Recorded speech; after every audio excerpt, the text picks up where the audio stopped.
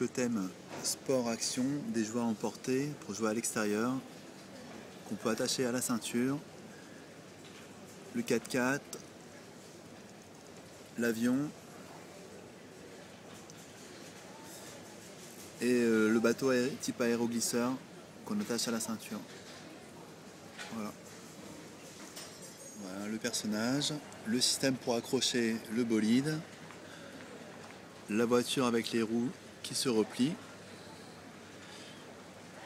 l'avion, le personnage avec une très jolie combinaison,